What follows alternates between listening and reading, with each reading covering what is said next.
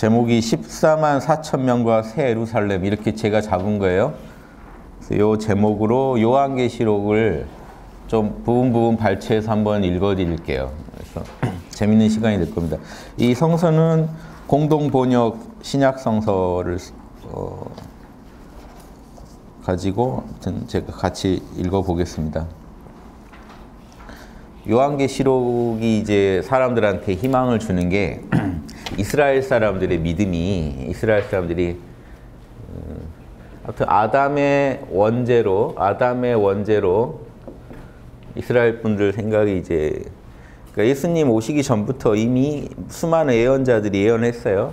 이, 이 원죄가 중간에 이제 모세가 와서 또 율법을 줬죠. 그런데 마지막에는 이제 메시아가 올 거다. 메시아, 인자, 사람의 아들. 사람의 아들이라는 뜻은 사람 중에 제일 꼭대기라는 뜻이에요. 사람 중에 하느님하고 제일 통하는 그 사람. 그래서 하느님의 어, 이, 이, 인자라는 존재는요. 하느님의 어떻게 보면 하느님 앞제비입니다. 뭔 얘기인지 아시겠어요? 그러니까 옛날에 그러니까 하느님이 직접 힘을 쓰는 게 아니라 인간들한테 인자를 통해서 힘을 쓰는 거예요. 그런 느낌 아시겠죠? 그래서 이 인자가 제일 무서운 분이에요. 여러분은 여러분이 모셔야 할 상자는 인자예요. 하느님은 직접 보이지 않아요. 여러분한테 인자를 통해서 우리 인간한테 역사를 합니다. 인간이 그래서 인간은 인자는 자, 이, 이, 이게 지금 인간이라면 인간, 인간의 산의 제일 꼭대기예요. 그래서 하늘하고 바로 소통하기 때문에 인간의 죄를 하늘한테 고해서 속량시켜 주는 제사장 역할도 하고 하늘의 명령을 받아서 인간한테 가르쳐준 예언자 역할도 하고 또 하늘을 대신해서 인간을 다스리는 왕 역할도 요세 역할을 하는 게 인자예요. 메시아예요. 그래서 이스라엘 분들이 이 메시아를 기다린 거예요. 그런데 이사야 예언서나 각종 선지자들의 예언서를 보면 이 메시아의 두 종류가 있어요. 즉 제사장으로서 메시아가 있고요. 왕으로서 메시아가 있어요. 그렇죠. 두 가지. 그럼 제사장 역할은 뭘까요? 아까도 말씀드렸지만 그 인간의 죄를 이렇게 하늘한테 고해서 성량시켜 주는 거죠. 예, 죄를 풀어주는 거고 왕은요 인간을 다스린 역할이죠. 이두 메시아의 역할이 이 이스라엘이 기다려온 메시아예요. 그래서 이 메시아는요 좀 처참합니다. 자기를 자기를 사실을 희생 제물로 바쳐요. 그래서 이사야 예언서에 보면 자기를 희생 제물로 바치는 메시아가 있고요. 예, 왕으로서의 메시아. 즉 앞으로 이제 다윗 왕을 계승해서 다윗 왕을 계승해서 세상을 다스리는 예, 요한계시록에서 말하는 천년 왕국이죠. 천년 왕국을 다스릴 메시아. 아시겠죠? 그런 이 왕으로서 메시아가 있고 이분은 이 존재는 이 존재가 이제 인자가 올 때 구름 타고 오고 천사들 동행해서 천사들이 이제 사방에서 이, 이, 이 왕국에 살 이런 존재들, 구원받은 존재들, 예, 구원받은 존재들을 예, 이 천사들이 모집해서 이 왕국에 살게 하고 인자가 직접 내려와서 예, 다윗 왕을 이어서 왕에 대해서 후손이라는 말을 강조해요. 다윗 왕의 후손이로 후손 중에 누가 태어나서 천년 왕국을 다스려 줄 거다. 이제 진짜 이스라엘 세상 온다 하는 뭐 이런 것도 들어 있어요 거기. 그러니까 이거 너무 좋아하시면 안 돼요. 이스라엘 사람들이 바라본 예, 그 이런 그 신의 세계예요. 신이 직접 다스려 주는 그런 세계. 인자를 통해서. 항상 신이 다스리는 세계는 맞습니다. 그런데 누굴 통해서요? 인자를 통해서요. 신은 신이 직접 다스리지 않아요. 인간을 통해서 다스리. 이게요, 이게 어 그냥 지어낸 말들이면은 이제 저도 이런 거에 대해서 뭐 비판적으로 접근할 수 있지만 모든 종교 철학의 기본이에요. 신이 직접 인간을 다스리지 않습니다. 좀 고등 철학에서 인간을 통해서 인간을 다스리. 인간은 인간이 다스리는 거예요. 다만 누가 그 신을 제일 잘 알고 있는가. 그래서 시, 그러니까 다른 의미로 볼 때 신은 인간을 통해서 인간을 다스린다라고 말할 수도 있는. 인간 중에 제일 신성에 가까운 이가 인간을 다스린다라고 말할 수도 있고요. 같은 말입니다. 그래서 실제로 화원경에 보시면 석가모니 불의 깨달음 이야기인데 갑자기 중간에 주, 인공이 비로자나불로 바뀌어요. 석가모니 불의 신성으로 바뀌어요. 그런데 비로자나불은 설법하지 않아요. 다 다른 보살들이 비로자나불의 그 권능을 받아서 설법을 합니다. 그러니까 인간이 인간들한테 설법을 해요. 재밌죠. 그런데 그게 비로자나불의 뜻이에요. 이, 런게 묘하게 만납니다. 종교의 가장 근본에서 이 인자란 존재를 우습게 하시면 안 돼요. 그냥 사람의 아들, 사람이구나 이게 아니에요. 사람 중에 신을 대신할 수 있는 사람. 신은 이, 이 인자를 통해서 메시지를 발표합니다. 그래서 인자가 진정한 인자가 없을 때는 또 그 예언자들을 통해서 계속해서 메시지를 발표하고 예, 또 훌륭한 왕이 없을 때는 그나마 쓸만한 사람들을 또 왕으로 세워서 통치시키고 그렇죠. 또 이 제사장이 마땅치 않더라도 이 제사장을 통해서 계속 인간의 죄를 이렇게 성량하게 해줘요. 그런데 신이 인도하는데 제대로 된 존재가 나타나면 이 세계가 이 퍼펙트해지는 거예요. 그래서 그런데 이 제사장으로서의 메시아, 예, 자기를 희생, 자기를 제물로 바쳐서 온 중생의 죄를 백성들의 죄를 다 씻어줄 끝내주는 제사장이죠. 안 그러면 제사장은 매일 제물 바쳐야 돼요. 죄는 또 짓고 또 바치고 계속 잊으시죠. 자기 죄도 빌어야 되고 백성들의 죄도 빌어야 되는 존재인데 이 모든 것을 한 번에 끝내려는 자기를 자기는 죄가 하나도 없는데 그러니까 죄 없는 존재야 돼. 원래 재물은 흠이 없어야 되거든요. 그래서 자기를 재물로 바치기 위해서는 흠이 없는 존재가 태어나야 돼. 흠이 없는데 자기는 죄가 없는데 타인의 죄로 고생을 당하는 고통을 받는 그런 제사장으로서 메시아가 등장하고 그 다음에 이제 왕으로서 메시아가 있습니다. 이게 예수님 이제 기독교식으로 이제 이스라엘인들은 여기까지는 공통입니다. 이스라엘 사람들 기다려요 지금도. 그래서 이 메시아 이이 이 제사장은 어떤 메시아 중에 이제 아론 제사장이니까 모세 형이에요. 아론의 메시아라고 그러고 이걸 다윗의 메, 다윗의 메시아라고 합니다. 두 메시아를 기다리는데 유대인들하고 기독교가 대화가 될 수 있는 이 부분이요. 유대인들은 이 메시아를 기다리고 있거든요, 주로. 그런데 예수님은 여기에 맞지 않아요. 근데 이제 이 유대인 중에 기독교가 이해가 되는 분들은 어? 이 메시아에 대한 설명이 예수님하고 똑같은 거예요. 이해되시죠? 그러니까, 그러니까 아직 재림은 안 했으니까 예수님을 다 믿지 못하더라도 이 메시아는 예수랑 똑같은데 하는 이게 있어요. 유대인하고 기독교가 대화를 나눌 수 있는 부분이 이, 이 공통의 이, 이런 그림을 그리고 있어요. 이해되시죠? 그래서 근데 이제 기독교식으로 볼때 이때가 예수님 초림 때죠. 이때는요 재림 때죠. 예수님이 계속 마태복음 보면 내가 구름 타고 와서 구름 타고 와서 천사들 데리고 천사들은 누구냐 그러니까 예수님이 설명한 게 있어요. 추수꾼이라고 수확할 때 나를 도와줄 사람들. 천사들이 대거 내려와서 사방에 흩어져 있는 사람들 중에 쓸만한 사람 하느님의 자녀들은 다 모아서 이 왕국에 영원토록 살게 해주겠다. 그런데 이것도 이제 이스라엘들이 원래 믿고 있는 거죠. 여기 이 세계에 들어가면 영생한다. 예수님이 이렇게 따로 지어내신 게 아니라 그 전에 이스라엘이 이미 믿고 있어요. 이때는 영생한다. 이때는 죽은 자도 부활한다. 이렇게 믿고 있어요. 그래서 다니엘서 보면요. 구약 중에 다니엘이 이걸 다 봐요. 요한계시록과 똑같은 걸 봐요. 예언을 그 환상을 봅니다.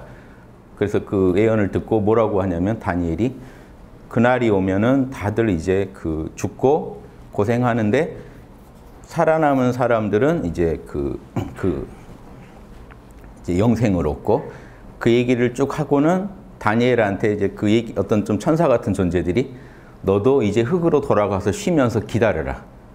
나중에 그때를 기다려. 부활의 그때를 기다려라. 이렇게 나옵니다. 구약에서. 그러니까 지금 예전 구약 시대 사람들 예수님이 당장 안 오니까 그날이 올 때까지 흙에 들어가서 쉬면서 기다려라. 그날이 오면 너가 그 상속을 받을 것이다. 다 이게 상속이란 말로 많이 써요. 왜냐하면 언약이거든요.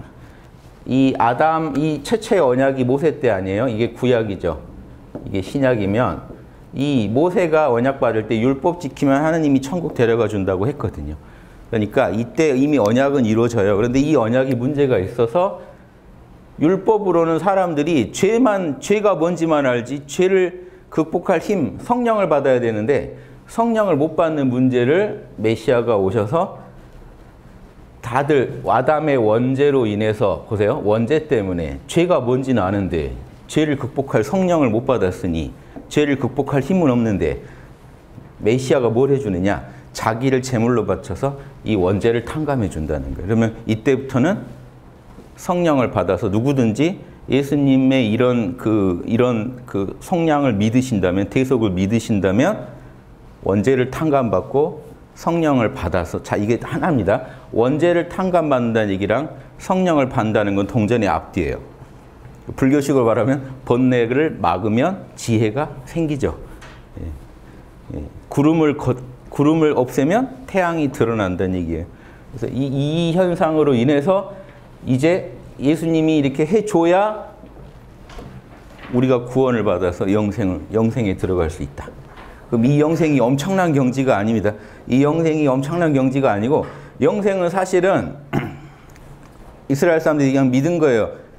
왜냐하면 지상에서 천년왕국을 누릴 때 하느님, 하느님이 다스리는 세상인데 우리 죽이지 않겠지 하는 살아서 영원히 그 하느님과 함께 복을 누릴 수 있게 해주겠지 하는 개념인데 이제 이 영생이 사실은 이제 그 도마복음만 봐도 예수님의 다른 복음만 봐도 영적인 몸을 만들어야 된다는 문제까지 가요. 그럼 실제로는 복잡한 문제인데 영적인 몸도 싸줄 거라고 믿는 거죠. 하느님이 싸줄 거다 다.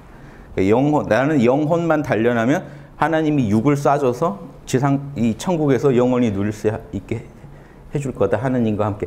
하느님이 직접 다스리는 세상이에요 이거는. 인자를 통해서 하느님이 직접 다스리는 세상에서 영원히 살 수 있게 될 거다. 요 요 큰 그림을 갖고 있습니다. 여기에 예수님이 이걸 주장하신 거예요. 그래서 마태복음에 보면 나를 나를 잡아 죽여야 된다 하는 얘기를 계속해요. 나를 대성물로 바치기 위해 나눠왔다. 그러니까 이 그림 속에서 자기를 정확히 어, 자기의 위치를 정확히 예수님 파악하고 계세요. 내가 이스라엘인들을 위해서 일단 이 속량을 도와줄 메시아로 왔다. 이번 이번 판에는 다음에 내가 다시 올 때는 천년 왕국을 건설하는 그 책임을 맡고 오겠지만 이번에는 뭘 해주려고 왔어요? 원죄 탕감해 주려고 왔다. 실제로는 어떨까요? 실제로 아담이 죄를 지어서 우리도 같이 죄를 받았다는 게 좀 황당하죠. 실제로는 어, 이 상징적인 사건입니다. 예수님이 이렇게 하고 가셔야 이스라엘들한테 업이 풀려요. 이스라엘의 카르마가 풀려요. 왜? 다 원죄가 믿고 있, 있다고 믿고 있기 때문에 그걸 풀어줘야 된단 말이에요. 누군가가 나타나서 이, 이 이런 이 실제로 예언서대로 이 성량을 해줘야 유대인들이 이제 나도 당당하게 하나님 자녀가 될 수 있다는 생각을 합니다. 그동안은 죄인이라는 생각이 있어요. 죄인이기 때문에 이렇게 사는 게 맞다. 그런데 이제 예수 이 메시아가 다녀가면 이후는 인식이 어떻게 될까요? 이제 나도 믿음만 가지고도 나는 하나님 자녀가 될 수 있다. 완전히 바뀌는 겁니다. 이걸 해주는 게 이제 대속이에요. 카르마를 풀어 집단적 카르마를 풀어주는 거예요. 그 이후 진짜로 하나님 자녀로 살려면요. 지금 이 성령 받아가지고 원죄 성령을 받았다는 게 원죄를 극복했다는 겁니다. 그런데 성령을 받기만 해서는요. 자, 성령을 받으면 칭의 단계라고 해요. 의로워지긴 하는데 성령 여러분 한 번만 체험해도 내가 하나님 자녀인 줄 압니다. 한 번만 체험해도 돼요. 그런데 이후 성화를 거쳐야 돼요.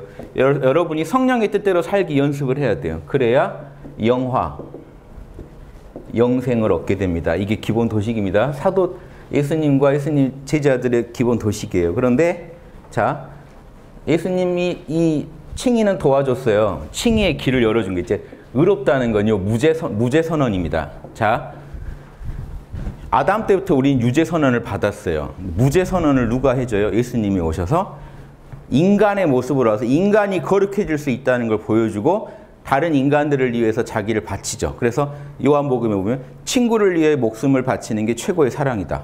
사랑하라라고 하면서 자기가 이, 이 런이 속량의 제사장으로서 메시아 역할을 충실히 해요. 그러면 이제 사람들은 예수님을 보고 믿을 수 있는 거예요. 믿을 만한 거예요. 나도 그럼 같이 예수님이 시킨 대로 해보자. 그러면 예수님의 길을 가자. 그래서 예수님처럼 결국 예수님을 통해 하나님을 한번 믿어보자.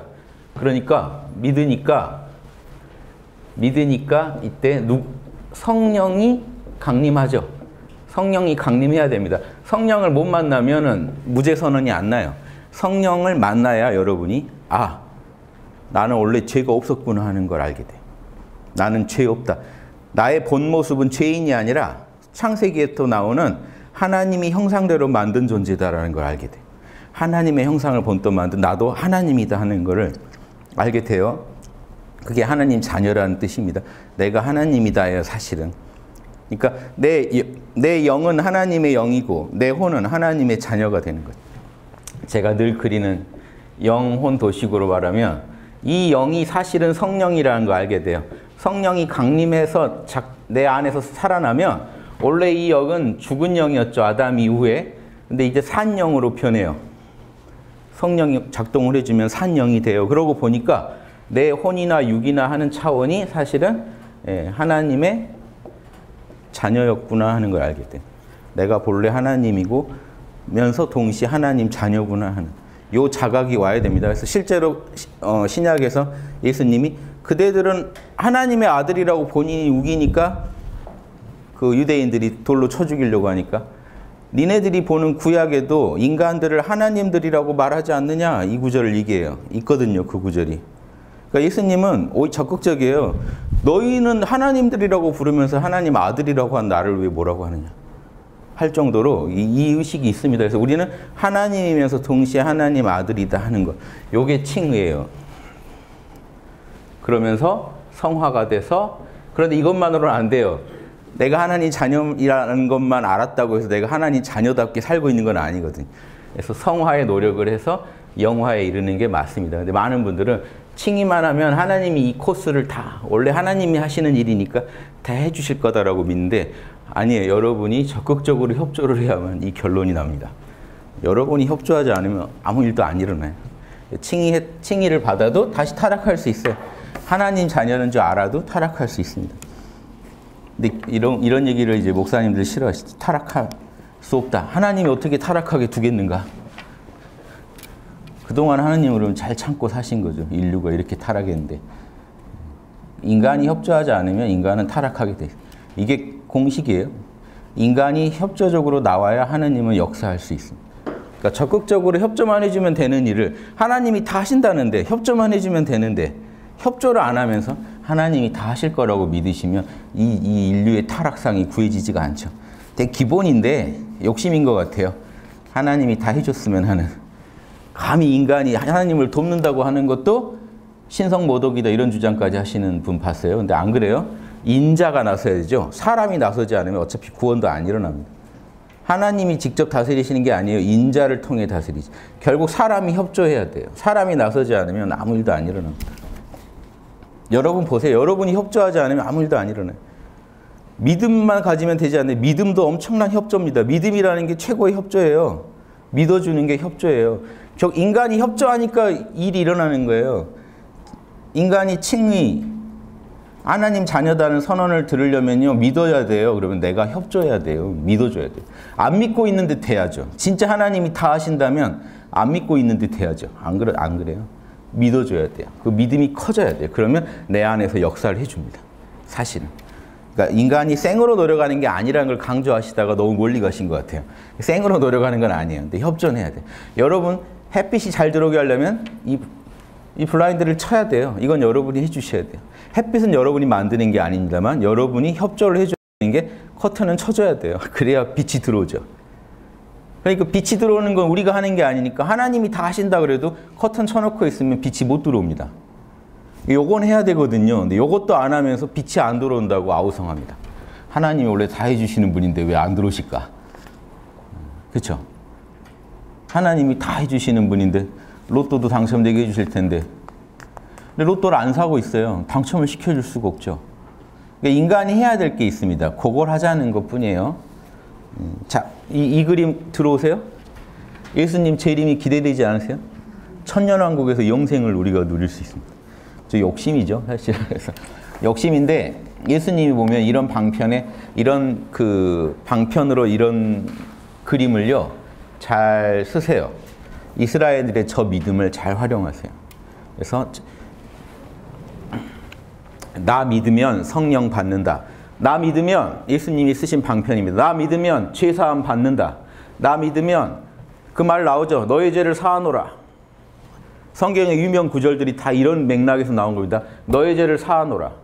죄인이라고 믿고 있는 사람들 데리고는요. 답이 안 나와요. 율법을 지켜봤자 성령이 각성이 안 돼요. 죄의식으로 율법을 지키고 있어요. 너의 죄를 사하노라. 하나님 자녀라는 그 기쁨 속에서 확신 속에서 율법을 지켜야 되는데 너의 죄를 사하노라. 그러니까 율법을 없애자는 게 아니다. 율법 지키는 그 마음을 심보를 고치자는 거다. 그러니까 성령 받아라. 요한복음에서 성령 받아라 이런. 그다음에 그 다음에 영생을 주러 왔다 나는 막 지르세요. 영생을 주러 왔다. 예. 천국을 내가 예비하마. 천국을 내가 준비시켜 놓마. 그렇죠. 그 천국이 지상 천국입니다. 하늘에 있는 천국은 이미 온전해요. 하늘에서와 같이 땅에서도 이루어지게 해야 된다 하는 거니까 지상 천국 내가 예비하마. 요한복음에서 영생 영생 주러 왔다. 지금 막 지르셨죠. 너의 죄를 사하노라. 뭐. 그리고 내가 십자가를 통해 너희들 대속을 시켜주겠다. 제가 볼 땐 다 방편이에요. 이스라엘 사람들이 저런 그림을 갖고 있지 않았다면 예수님이 그런 말 굳이 안 해도 될 말들이 많아요. 근데 이스라엘 사람들은 그렇게 믿고 있어요. 우리는 아담 때부터 죄를 지 사실은요. 이러다가 대승기 신론 진도 못 나가는데 사실은 아담 때 원죄를 지은 게 아니고요. 제가 볼 때는요. 사실은 아담 때 선악과 먹었죠. 예수님이 전 진짜 하고 싶었던 말씀은 이거라고 봐요.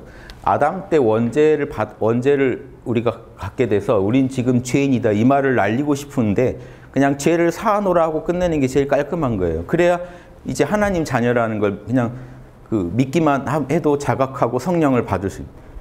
뭐냐면 여러분도 지금 학당에 오셔서 몰라만 해도 성령 자각하시죠.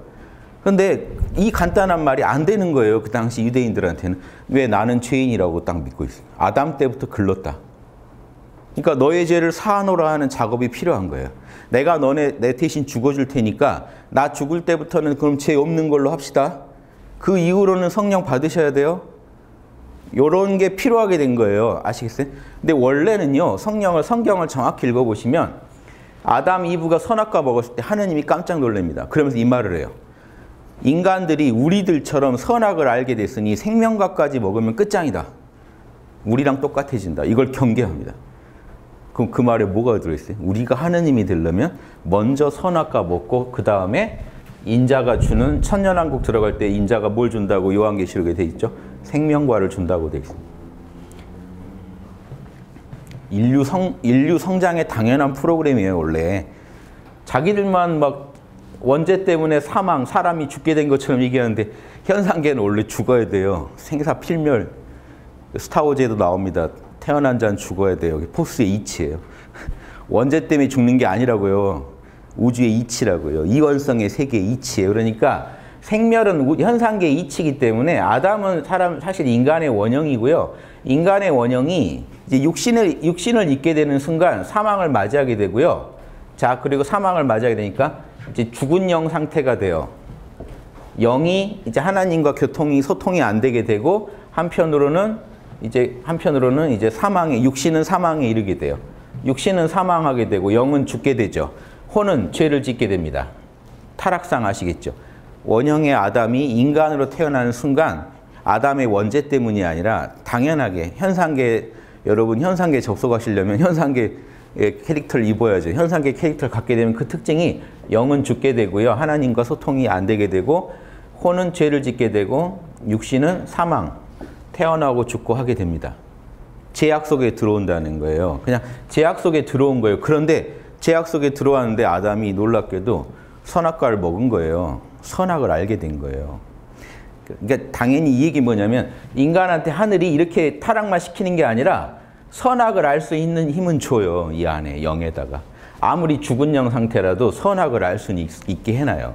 양심이 작동하게 해놓은 겁니다. 사실은. 그런데 그럼 선악의 기준은 누가 제시해요? 모세가 제시해줘요. 자 이렇게 관점에서 한번 봐보실래요? 이거는 저의 뭐 마음대로 짓거리는 요즘 뭐 뇌피셜 이러는데 제가 마음대로 짓거리는 말이라고 생각하셔도 좋아요. 한번 보세요. 아담 때 선악과를 먹고 선악을 판단할 수 있는 능력은 갖게 됩니다. 12 판단 능력. 유교, 유교에서 말한 12지심을 갖게 돼요. 그리고 모세가 선악 판단의 기준을 제시해 줍니다. 율법이라고. 잘 안 돼요. 그런데 이게 영이 살아나, 살아나야 이게 지켜지지. 영이 죽어 있는 상태에서는 아무리 옳은 줄 알아도 잘 못해요. 예수님이 오셔서 생명과를 줘서 영생에 이르겠다는 것은 성령을 성령을 받게 해줘서 이제 영이 살아나면 어떻게 될까요? 영이 살아나면 혼이 성화되고 육이 거듭날 수 있는 이치가 있죠. 그래서 여러분이 성령을 깨치는 순간 사실은 영생이에요. 영적인 몸 없는데요. 영적인 몸 없으면 내가 쏴줄게 라고 얘기하시는 예수님의 심정은 뭘까요?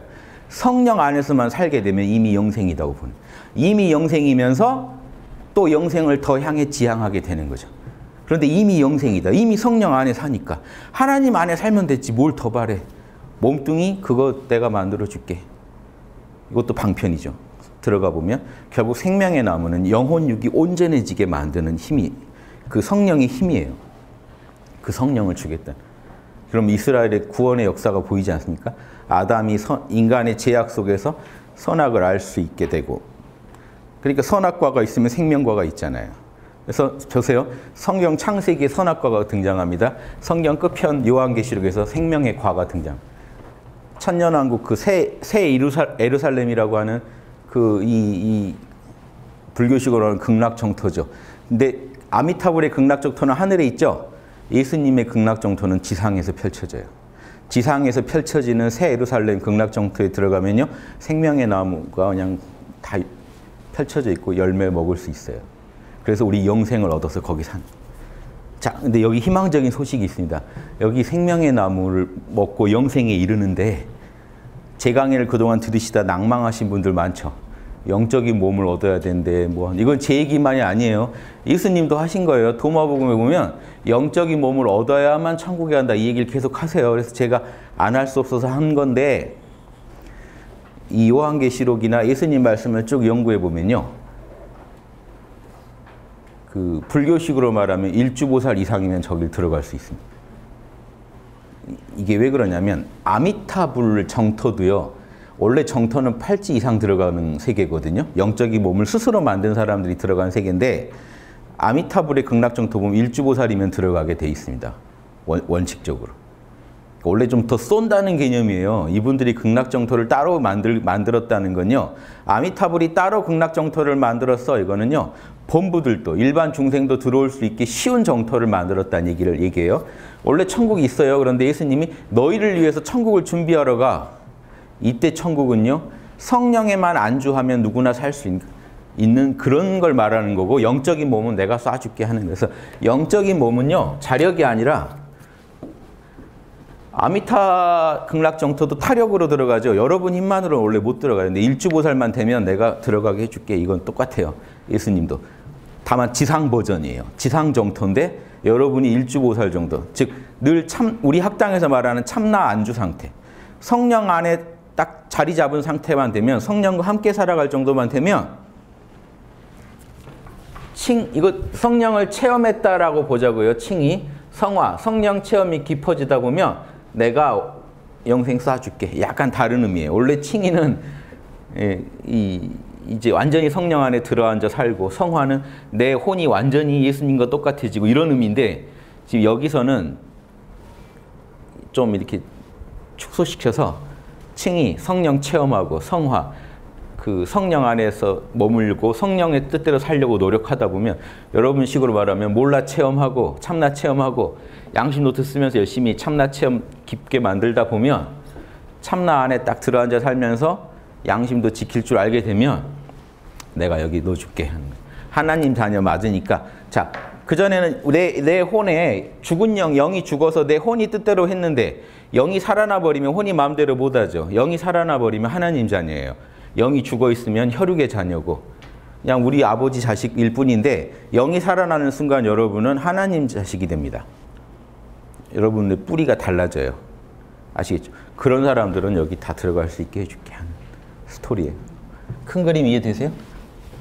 오늘 뭐 기독교의 모든 걸 해버린 것 같은데 요한계시록 들어가려다가 저 그림을 자 이 그림을요 이슬, 이슬람 사람들도 그리고 있습니다. 요 요한계시록을 이슬람 사람들도 좋아해요. 봐서 다 알아요.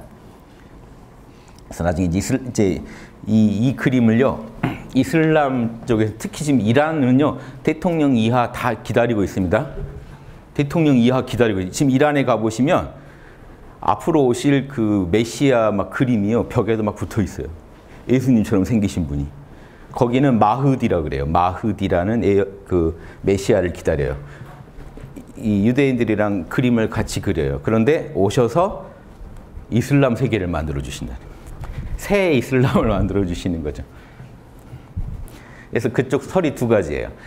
예수님이 먼저 와서 싹 요한계시록처럼 짐승 때려잡고 천년왕국 딱 열어놓으면 마흐디가 뒤에 등장해서 예수님한테 어, 수고했어 하고 이제 마흐디가 통치한다는 예언하고 예수가 마흐디라는 예언 두, 두 예언이 있어요. 이슬람 중에 시아파가 이걸 믿습니다. 순위파는 요거를 안 따르는데 그래서 특히 지금 이란 대통령은 내가 그 빨리 아마게돈을 빨리 가져오게 하려고 노력한다면서 뭐 이런 얘기까지 할 정도로 그래서 그 요한계시록 보면 두 짐승이 등장해요. 큰 짐승과 그 앞제비 짐승이 하나 등장해요. 요거를 이란 대통령은 간단합니다. 짐승은 미국, 큰 짐승은 미국, 작은 짐승은 이스라엘.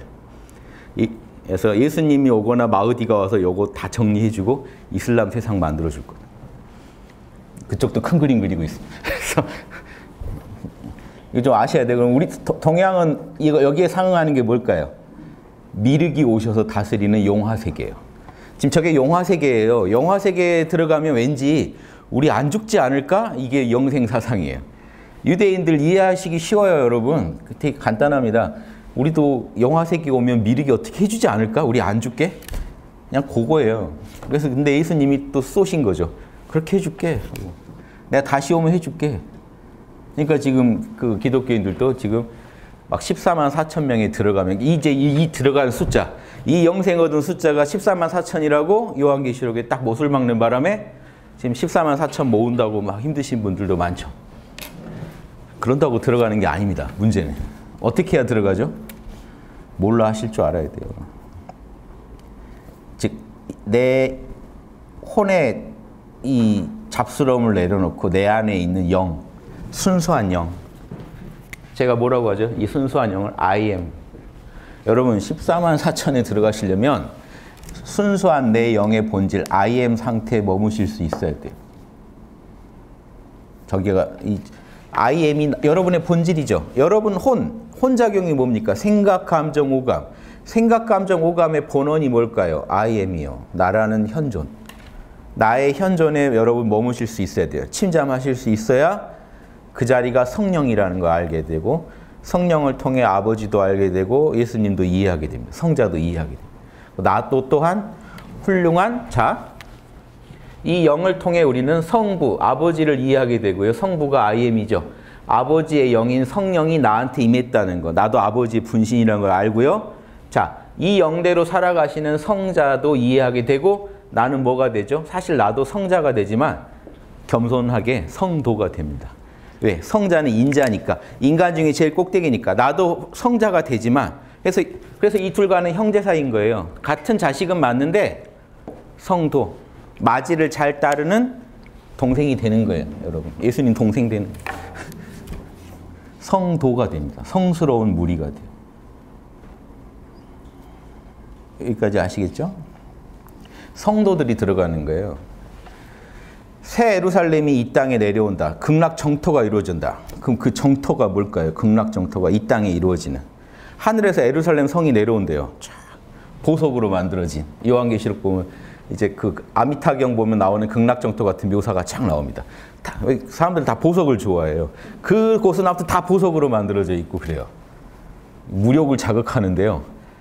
아무튼 영적인 그런 빛을 그렇게 설명하시는 건데, 자, 그 유마경에 뭐라고 돼 있냐면요. 불경 얘기를 해서 그렇습니다만, 중생의 마음이 정토다. 사실 우리 마음이 정토예요. 자, 성도들의 영혼 육이 정토예요, 원래. 천국이 어디서 이루어지나요? 맨 처음에? 예수님의 영혼 육에서 이루어졌어요. 당시 이 지구에 아무도 안 이루어졌는데 예수님 혼자 영혼 육이 살아난 거죠. 영이 깨어 있고, 그렇죠? 혼이 지혜롭고 자비롭고 육이 거듭나 있잖아요. 그러니까 예수님이 천국은 이미 왔다라고 선포했다. 그러니까 그 천국이 뭐겠어요? 천국은 성령의 뜻대로 다스려지는 나라예요. 그러니까 한 사람 안에서 다스려지면 그 한 사람이 천국이에요. 그러니까 지상의 새 예루살렘 극락 정토가 펼쳐진다는 건요. 깨어 있는 성도들, 성령 안에 살아가는 성도들이 엄청 나와야 돼요.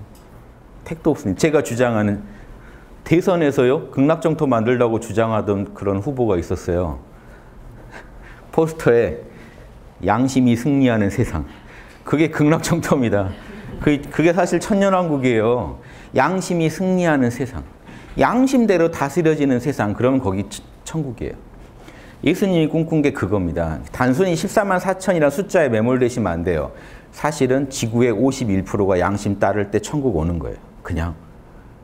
아시겠죠? 성령 안에 살아가는 사람들이 51%라는 꼭 숫자가 아니라 헤게모니를 장악했다는 거예요. 즉, 성령의 뜻대로 다스려지는 이 지구를 만들어 보자는 거예요. 영화 세계인이 천년왕국인. 우리 민족도 있어요, 여러분. 조금 이따 하려고 아껴두고 있는데 우리 민족은 뭐라고 했죠, 그거를? 신시요. 신의 나라. 꼭 도시가 아닙니다. 옛날 시티를 의미한 건 아니니까 이 시가 사람들이 모여 사는 나라를 말해요. 환웅이 오셔서 실제로 우린 열었죠. 만 년 전에 신의 나라를 열었던 경험을 갖고 있습니다. 신의 나라가 뭘까요? 지상 정토예요. 특징이 똑같아요. 하느님 아들이 내려와서 직접 다스렸습니다. 이 신시도 환웅이 내려와서 직접 다스렸던 곳이에요. 재밌죠? 저 천년왕국도 핵 특징이 뭘까요? 인자가 하느님 아들이 내려와서 직접 다스리는 것. 그래서 시에 나옵니다. 그 요한계시록에 보면 막 노래를 불러요 사람들이 하나님이 직접 다스리시네 하고 그, 우리가 미륵 세상을 기다리는 이유가 뭘까요? 영화 세계. 인간들이 일반 인간들이 다스리니까 죽은 영의 인간들이 다스리니까 죽겠거든요. 제발 그 위대한 그 부처님이 와서 직접 다스려 줬으면 같은 염원이에요. 즉 이런 얘기를 제가 여러 종교교를 하는 건요. 종교를 섞자는 게 아니라 심정을 이해해 보시라고요. 이스라엘인들의 심정. 막 이해 못할 얘기가 아니라고요. 이게 전혀. 우리 민족에 다 있는 얘기예요.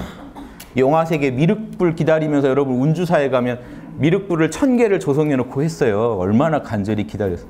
우리나라 우리나라 곳곳에 가보세요. 다 가면 미륵불이 있습니다. 대충 만든 미륵불도 돌 대충 다듬어서라도 미륵불이 있어요. 이 땅에 천년왕국이 오길 바라는 마음하고 똑같은 마음. 그 핵심은 뭐예요? 제발 사람다운 것이 나와서 좀 다스렸으면 우리를 아무나 다스리지 말고 예, 성령 깨달은 사람, 진리 안에 살아가는 사람이 우리식으로 얘기할게요. 양심 있는 사람이 와서 다스렸으면 그냥 고개 타요. 거기에 영생이 뭐니 막 붙는 거예요. 그래서 이 주변 것에 너무 현혹되지 말고 여러분 본질을 보시자고요. 양심이 다스리는 세상입니다. 성령 안에 살아가는 사람이 다스렸습니다. 그리고 그런 사람들이 대접받는 세상. 자, 여기까지 그림 그리셨죠? 요한계시록 들어가 볼게요. 요 정도는 요한계시록을 읽기 위한 사전 그림입니다. 자, 보세요. 요한계시록 7장에 가면요. 이스라엘 백성 중에 뽑힌 14만 4천 명. 벌써 기분 나쁘죠? 우리는 빠져 있잖아요. 이스라엘 백성이면. 이게 불쾌하시지 않으면 여러분은 이미 세뇌당하신 겁니다. 그 뒤에 내가 보니 이제 요한이 예수님 제자 중에 요한이 이제 환상 속에서 보는 거예요. 내가 보니 땅 네모퉁이에서 천사가 탁 나타나서요. 땅에 바람을 불어요. 이 바다와 산과 초목을 다 해치는 무서운 이 동양식으로 말하면 가을바람 같은 거죠. 숙살지기. 숙살지기가 뭡니까? 정의로운 것은 남겨두는데요. 알곡은 남겨두는데 쭉정이들은 다 쳐버려요. 그러니까 살벌한 바람을 불려고 하는데 땅에서나 바다에서나 어떤 나무에서나 그 바람을 못 불게 딱 막아요. 어떤 천사가 하나 올라와서. 아, 뭐냐면, 근데 이 천사들이 곧 불게 할 거예요. 그러니까 이 네모퉁이에서 천사가 하나씩 올라왔죠. 그래서 이제 불게 하려고 하는데 다른 천사 하나가 하나님의 도장을 딱 들고는 해 돋는 쪽에서 올라와요. 해 돋는 쪽에서 딱 올라오더니 뭐라고 해요? 그 이제 바람 불어서 천지를 해치려는 그 천사들, 네 천사들이죠. 동서남북 사방에서 올라왔으니까. 예, 막아요. 우리가 우리 하나님 종들의 이마에다가 이 도장 찍기 전까지는 아직 해치지 마라. 이 땅이나 나무를 해치지 마라. 분명히 말하면 땅, 바다, 나무를 해치지 마라 요겁니다. 자, 이게 이스라엘에서는요, 되게 그 구약에서 계속 등장하던 스토리입니다. 하나님이요, 하나님이 그 어떤 한 성을 멸해 버릴 때요, 멸할 때, 멸하는 병사들한테 가서 다 죽여라 그럽니다. 이스라엘 하나님은 세요. 다 죽여라 그래요. 역사적으로는 이해가 돼요. 한 부족이 한 부족 전멸시키고 이런 건 인류 역사에 도처에 등장하는 스토리인데 제가 왜 구약을 경계하냐면 그 스토리가 모두 하나님의 명령으로 미화돼 버려요.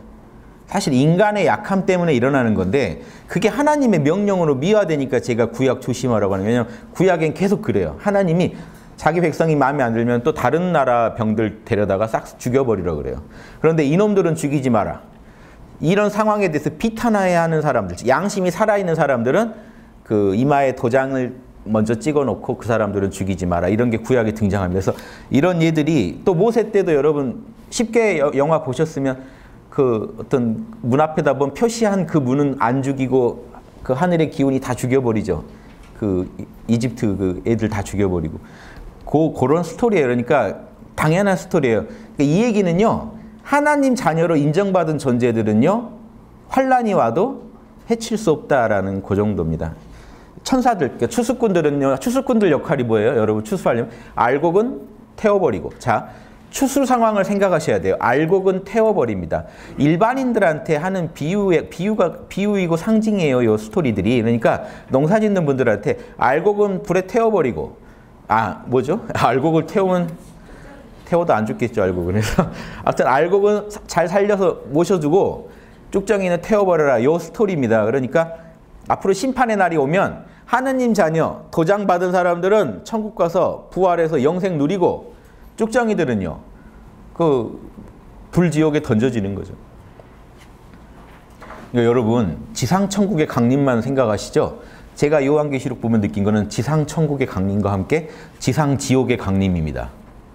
신상 필벌일 뿐이에요. 이 마지막 예수님이 오신 그 심판 때 일어나는 일은요. 신상 필벌. 알곡은 상 주고 쭉정이는 벌 주겠다는 거예요. 이 땅에서 바로 눈에 보이게 하겠다는 거예요. 불지옥 들어가는 거 바로 보여주고 천년왕국에서 영생 누리는 거, 왕노릇 하는 거. 하나님의 자녀가 다 대접받는 거. 진짜 왕노릇 한다고 돼 있어요. 눈에 중생들 눈에 다 보이게 하겠다는 거예요. 사람들 눈에. 지상 천국만 생각하지 마세요. 지상 지옥이 펼쳐집니다. 그 얘기는 뭐죠? 지금 여러분이 바라는 거예요. 여러분 바라시죠? 범죄자들. 며칠 전인가요? 여섯, 여섯 살 아이를 성폭행했다는 50대. 이런, 뭐, 이, 그러니까 벌받아 마땅한 사람들이 과연 이 땅에서 벌을 제대로 받을까요? 중형을 때렸다고 해서 보통 뭐 십몇 년. 말도 안 되는 일들 많아요. 말도 아닌 뭐 그 범죄에 대해서. 그러니까 이 누구나 바라는 겁니다. 악이 제대로 벌 받는 거. 선이 제대로 양심이 상 받는 거. 그냥 그거 이루어주는 세상이 온다는 것 뿐이에요, 여러분. 그게 이제 멋지게 설명되고 있지만 자 보세요. 그러니까 도장 찍을 때까지 아무 데치지 마라. 그러면서 도장을 막 찍고 다녀요. 그 천사가 그 숫자가 14만 4천이라. 긴장되시죠? 그래도 14만 4천. 우리 동양에서는 1만 2천 도통군자 하면 좀 문이 더 넓지 않나요? 14만 4천. 문이 넓은데 안타까운 거는 이스라엘 백성이라는 겁니다. 여러분이 근본 종자가 달라요. 자, 이와 같이 도장받은 자들이 이스라엘 자손의 모든 지파에서 나온다 해서 보세요. 유다 지파가 예수님 지파라 제일 앞에 나온 것 같아요. 유다 지파 1만 2천 명. 우리도 이 중에 하나 들어가지 않을까 하는 욕심이 나죠. 그래서 그런 주장 실제 하는 분이 있습니다. 이 여기는 안 나와요. 단지파가 사라져서 안 나와요. 역사 속에서. 그래서 우리가 사라진 단지파라. 그래서 단군의 후손이라고 주장하면서 1만 2천 명 어떻게든 넣어보려는 분들도 있고요. 요 안에. 아예 이거는 그냥 우리가 하면 된다라고 주장하는 분도 있고. 그런데 자, 자, 잘 이해, 이해하세요. 저 1만 2천 명의 비밀을 제가 이제 밝혀드릴게요. 그, 그 알보다 더 흥미진진하실 겁니다. 저 1만 2천의 비밀. 지금 저것 때문에 수많은 종교들이 휴거설이 다 여기, 여기서 등장해요. 이 1만 2천을 지금 휴거되는 사람으로 본다고요. 어떻게 휴거설이 등장했는지도 제가 설명드릴게요. 애초에 성경에 없습니다. 그런데 휴거설이 왜 등장했는지. 왜냐 앞으로도 계속 등장할 거기 때문에 미리 좀 우리가 이런 정보를 유튜브에 올려서 막자고요. 사이비 교회 난립을 좀 막아보자는 거예요. 그런데 자, 이 앞으로 올 천년왕국을 부활해서 천년씩 살아갈 영생을 얻을 이 천년왕국을 다 상징입니다. 사실은. 왜냐 요한이 본 환상이에요. 그러니까 적절히 풀어서 이해하세요. 여러분도 꿈꾼 거 다 그대로 고지고대로 안 들으시죠? 어느 정도 부풀려졌거나 과장됐다고 보고 받아들이시죠? 예, 그 부분. 그리고 애초에 또 구약에서부터 계속 꿈을 꿔온 거예요. 이런 꿈을. 같은 꿈을 계속 꾸니까 실제 같지만 현실화, 현실화 됐을 때는 또 맛이 다를 수 있다는 것도 감안하셔야 됩니다. 단, 자, 저기를 요한 계시록의 새 예루살렘이라고 불러요. 자, 유대인들이 꾼 꿈이에요. 그러니까 우리가 좀 이해해야 돼요. 유대인들 입장에서 보고 있다고요. 유대인들 입장에서 보니까 새로운 천년왕국도 뭐라고 불러요? 새 에루살렘. 왜? 유대인들의 수건이었어요. 우리 우리의 수도 에루살렘이 진짜 진짜 이 세계의 중심이 되고 하늘의 뜻대로 다스려지는 그런 에루살렘이 됐으면 하는. 그래서 다윗 왕국이 천년씩 갔으면 이게 구, 구약 때 많은 분들의 그 수건이었습니다. 오래된 염원이었어요. 진짜 좋은 세상 왔으면 하는 거예요, 본질은. 그러니까 인류 보편적으로 우리가 받아들여야 할 거는 영화 세계에도 꼭 미륵불이 와야 된다. 그러면 불교인만 좋고 다른 종교인은 안 좋냐? 그게 아니라 이, 이 보편적으로 이 양심이 승리하는 세상을 의미한 것 뿐이에요. 각 민족과 각 문화권에서 각 종교마다 다른 식으로 바라봤을 뿐이지. 그러니까 보세요. 그 이 천년왕국이라는 것도 이스라엘 사람들 볼 눈에는 새 에루살렘인 거예요. 새 세계의 수도. 이해되시죠? 이번에 트럼프가 이르 저기 그 수도 해가지고 저기 에루살렘에 트럼프 역이 생긴대요. 그거 인정해 줬다고. 아주 그냥 잘 노시던데 아무튼 자 그러면 지금 이 12지파를 어떻게 이해해야 되겠습니까? 전 인류를 위한 그 전 인류를 구원받게 하는 게 신약의 정신이거든요. 지금 이건 너무 구약적인 얘기라고요. 그러니까 구약까지도 끌어안고 있는 것 뿐이에요. 이런 형식을 취해서. 자, 구약 때부터 유대인들이 꿈꿔온 사업입니다. 그게 신약을 통해서 성취돼요. 그런데 보세요. 구약 때는요, 이 율법을 이스라엘만 받았어요. 이스라엘만 구원받는 사상이 여기 들어갔어요. 잘못 왜곡되게. 그러니까 예수님 때 오셔서 그런 게 어딨어 하고 그 사마리아인까지 다 껴안으면서 모든 인류가 다 구원받을 수 있는 길을 열어줍니다. 이 구약의 폐쇄성을 날려버린다고 이걸 바울이 적극적으로 설명해서 실제로 이제 전 세계 기독교가 퍼지겠죠. 왜냐 예수님 때부터 이스라엘인들한테만 이걸 퍼뜨려라고 한 적이 없어요. 언제 내가 언제 재림하느냐 꼭 조건을 겁니다. 만국에 땅 끝까지 내 복음이 전도될 때. 그래야 동서남북 사방에서 천사들이 추수할 거 아니냐 이거예요. 씨를 뿌려야 추수를 하죠. 그러니까 예수님이 초림 때 씨를 뿌리러 오신 거예요. 이제 내가 죄를 탕감해 줄게 인류의 인류의 죄예요. 꼭 이 이스라엘만 죄가 아니라 모든 존재가 다 하나님 자녀가 될 수 있으니까 너희들은 가서 퍼뜨려라 복음을 땅 끝까지 만국에 가서 퍼뜨려라. 만국에 다 퍼진 뒤에 내가 다시 올 거다. 그때 와서 추수할 거다. 그러니까 가르쳐 주고 추수를 해야지 안 가르쳐 주고 추수하는 건 말이 안 되죠. 그러니까 만국에 다 퍼뜨리라고 했는데 구제받는 존재가 14만 4천 딱 이스라엘 사람들이다. 뭘 나타낼까요? 이거는 구약의 예언이 성취됐다는 걸 말한 것 뿐이에요. 구약 때부터 우리가 기다려온 이스라엘을 위한 배려입니다. 이스라엘 사람들을 아 드디어 구약의 예언이 성취되도다 라는 얘기뿐이지 실제로 이 14만 4천을 구약 이스라엘 사람으로 풀시면 안 돼. 왜? 앞으로 온 인류가 구제받는다는 얘기가 나와요. 요한계시록에서 계속. 그 얘기랑 이 얘기가 따로 놀아요. 그럼 뭘 어떻게 이해해야 되겠습니까? 그런데 안에 들어가면 설명은 같아요. 그럼 이 사람들은 이스라엘 사람들이 아니에요. 왜 이렇게 얘기하느냐? 새, 새 에루살렘이라고 했죠. 인류 전체의 그 영적 수도를. 그러면 그 나라는 그, 그 나라, 그 나라에 살아가는 존재들은 새 이스라엘인이어야 되죠. 이 열두 지파가 기존 열두 지파랑 벌써 설명이 다릅니다. 그 당시 이미 이스라엘은 열두 지파가 예, 찾기 힘들어졌어요. 이미. 예수님 때부터 이미 열두 지파는 의미가 없습니다. 왜? 다 흩어졌어요. 북으로 뭐열 지파 아래로 두 지파 막 나뉘고 했다가 다 망해고요. 다 그 잡혀가고 왔다 갔다 하면서 싹 흩어졌어요. 계보를 파악하기 힘들어졌다고 그 당시에 이미. 그런데 왜 이렇게 계시록에서 썼을까요? 이 열두 지파가 상징하는 건 인류예요. 그냥 인류. 인류 중에 14만 4천 뽑았다 이 얘기를 하는 겁니다. 이해되시죠? 그 다음 가볼까요? 바로 이어집니다. 그 뒤에 나는 아무도 수요를 셀 수 없는 만큼 많은 사람이 모인 군중을 봤다. 갑자기 이제 두 그룹이 등장해요. 14만 4천 외에 헤아릴 수 없는 수많은 사람들이 등장하는데 보세요. 모든 나라와 민족과 백성의 백성과 언어에서 나온 자들이었다. 온 인류를 대표하는 사람들입니다. 온 인류에서 성령의 뜻대로 살아가는 사람들을 이란 뜻으로 흰 두루마기를 두루마기를 입고 있다고 했죠.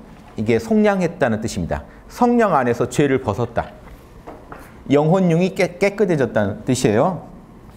정려나무 가지는 보통 승리의 상징물입니다. 이게 성경에서 좋아하는 말이죠. 그 이긴 자. 이긴 자가 됐다는 거야. 세상을 이겼다는 거야. 자, 세상이 여러분 어떻게 이기고 있나요? 여러분을 탐진치로 이끌고 있죠. 세상이 이긴 겁니다. 마귀가 이긴 거예요.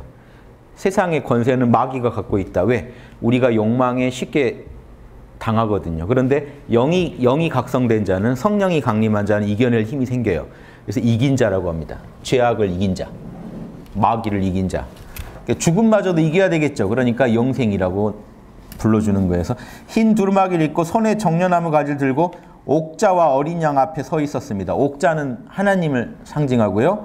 어린 양은 예수님을 상징한다. 여호와와 예수님 앞에 서 있었습니다. 그리고 그들은 큰 소리로 구원을 주시는 분은 옥자에 앉아 계신 우리 하나님과 어린 양이십니다 하고 외쳤습니다. 자 이렇게 돼요.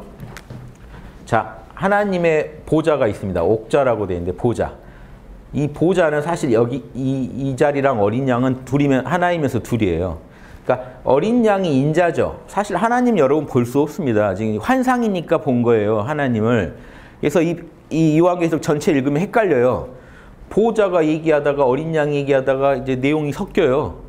보좌가 나는 알파요 오메가다 우주에 우주를 내가 만들었다. 나중에 어린 양이 외칩니다. 내가 알파요 오메가다. 자, 뭔 얘기겠어요? 하나예요. 자, 여러분 보좌 여기 하나님이 앉아 계신 게 보이죠? 사실은 여기 앉아 계신 건 어린 양입니다. 왜? 사람은 사람만 볼 수 있어요.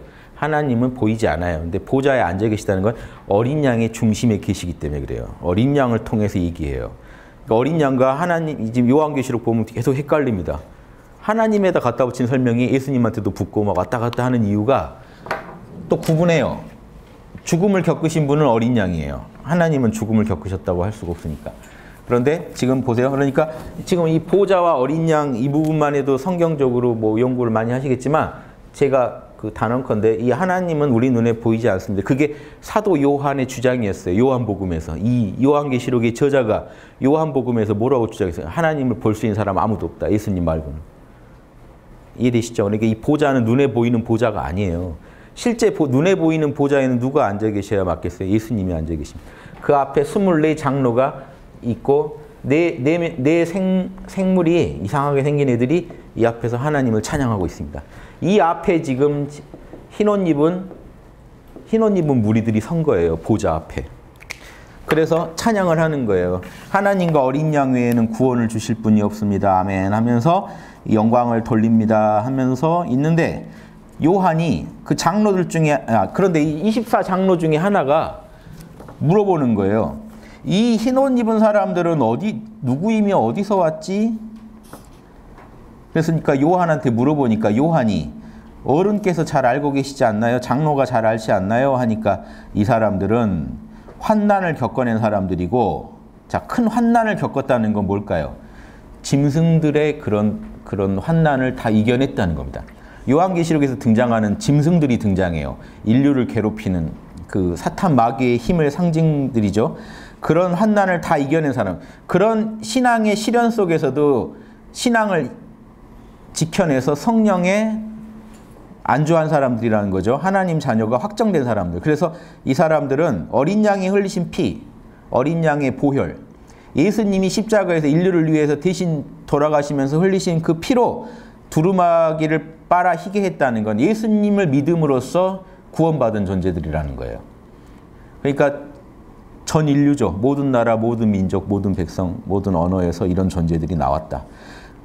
자, 이분들이 이제 하나님 성전에서 밤낮으로 이제 하나님을 섬기는 게 그분들이 이제 하는 일입니다. 그러면 자 보세요. 그들은 하나님 목자 앞에 있으면 하나님의 성전, 하나님의 성전이 어딜까요? 새 예루살렘이요. 자, 기억하세요. 새 예루살렘이고 밤낮으로 그분을 하나님을 섬깁니다. 하나님의 다스림을 받으면서. 자, 옥자에 앉으신 분이 사실은 예수님이에요. 그들을 가려 주실 겁니다. 주지도, 줄이지도 않고, 이제 목마르지도 배고프지도 않고, 어떤 뜨거운 열기도 그들을 못 괴롭히고, 시원한 장막 안에서 그들을 다스려 주시니까요. 그리고 그 옥자 한가운데 계신 어린 양, 갑자기 이 말이 왜 나온지 아시겠죠? 이게 생뚱맞아요. 옥자와 어린 양이 계속 따로 놀다가 갑자기 합쳐지는 구절이 있어요. 옥자 한가운데 앉아 계신 어린 양. 그 전까지는 분명히 옥자에 앉아 계신 분 따로, 어린 양 따로였는데, 왜 그런지 아시겠죠? 옥자 한가운데 앉아 계신 어린 양이 그들의 목자가 되셔서 그들을 생명의 샘터로 인도하시고 영생의 샘으로 인도하셔서 그들의 눈에서 눈물을 말끔히 씻어 주실 것이다. 이게 이사야의 예언서에 나오는 25장 49장에 나오는 겁니다. 이사야 예언서에 하나님이 우리를 굶주리지 않고 목마르지 않게 해주고 더위를 피하게 해줄 거며 생명의 샘터로 인도하실 것이다. 이게 49장의 예언이고요. 29장의 예언은 하나님이 우리로부터 죽음과 눈물을 걷어가실 거다. 안 죽게 영생 얻게 해주고 다시는 슬플 일 없게 만들어 줄 거다. 요게 성취됐다고 예언한 거예요. 즉 구약의 예언을 그대로 인용하면서 드디어 그 구약의 예언이 성취됐습니다. 자 여기까지가 한 챕터인데 자 수많은 오독을 말씀드릴게요. 앞에 14만 4천과 뒤에 흰옷 입은 무리는 어떤 관계일까요? 같은 양반들이에요. 이스라엘 지파를, 지파를 들먹여 버리니까 사람들이 이걸 일단 구분합니다. 둘은 다를 거다. 그래서 앞에 14만 4천 있고 뒤에 흰옷 입은 많은 무리들은요.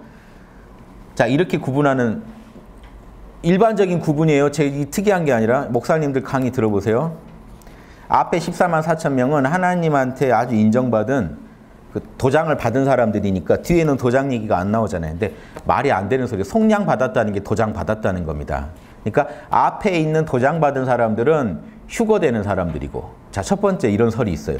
하늘로 들려 올라가서 7년 대환란 때 환란을 안 받고 하늘에서 편히 이제 띵가띵가 노는 겁니다. 밑에 구, 환란 받는 거 구경하면서.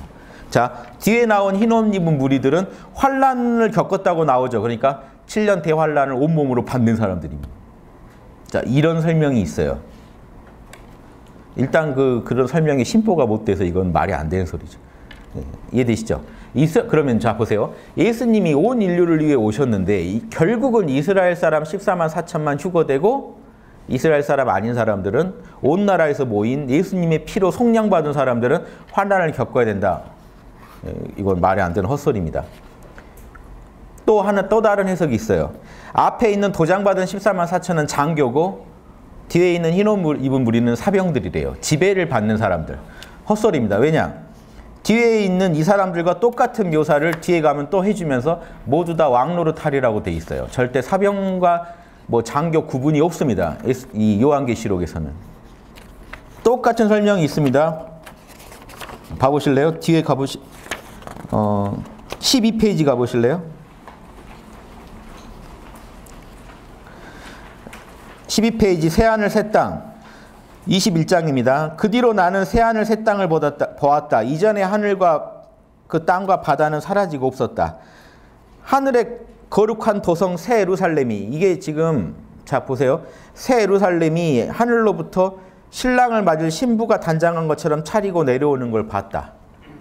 그때 이게 천국이 강림하는 겁니다. 천국이 강림하는데 옥자로부터 큰 음성이 울려서 이제 하나님의 집은 사람들이 사는 곳이 되었다.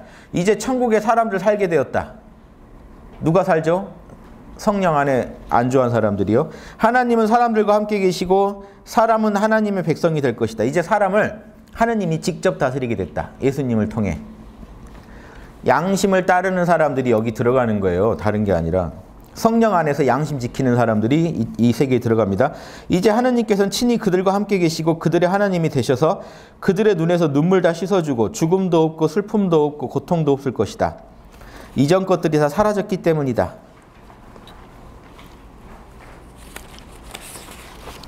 설명이 그 다른가요? 똑같죠? 자 보세요. 예.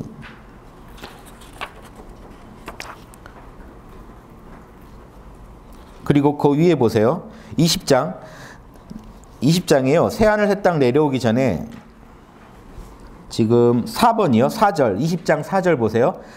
나는 또 뭘 봤냐면 높은 보좌와 그에 앉아 있는 사람들을 봤는데 사람들을 심판할 권한을 받은 사람들인데 예수님께서 계시하신 진리와 하나님 말씀을 잘 전파했다고 해서 목이 잘린 사람들 영혼을 봤다. 그들은 짐승의 짐승이 다스리는 그 환란의 시기 동안 짐승과 우상에게 절을 안 했다고. 즉 이마와 손에 낙인을 받는다. 여러분 짐승의 낙인이라고 해서 666 뭐 바코드 막 이런 거 나오죠. 다 헛소리입니다. 짐승의 낙인이라는 건 여러분이 성령의 낙인과 반대로 생각하시면 돼요.